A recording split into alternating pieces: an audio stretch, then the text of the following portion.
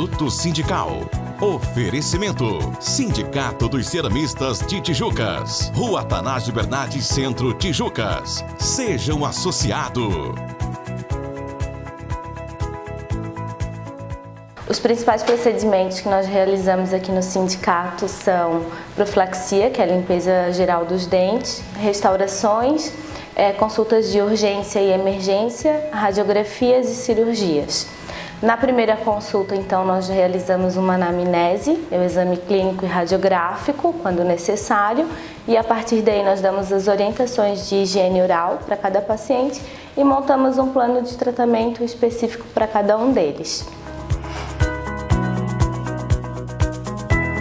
Eu sou responsável pelas extrações aqui no sindicato, é, extrações simples, extrações de terceiro molar, tanto superior quanto inferior, mais conhecida como extração de siso, né? A extração do terceiro molar ela é indicada principalmente nas questões ortodônticas, quando há falta de espaço para esse dente e quando é difícil a higienização da região, onde há acúmulo de alimentos que levam a inflamações e infecções na região.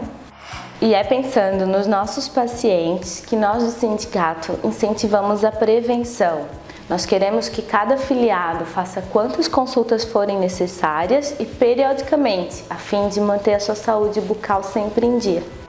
Então a gente convida que tu traga o teu crachá, a gente já faz a filiação na hora e libera para usar os benefícios. Vem fazer parte do sindicato. Minuto Sindical. Oferecimento: Sindicato dos Ceramistas de Tijucas. Rua Atanásio Bernardes Centro, Tijucas. Seja um associado.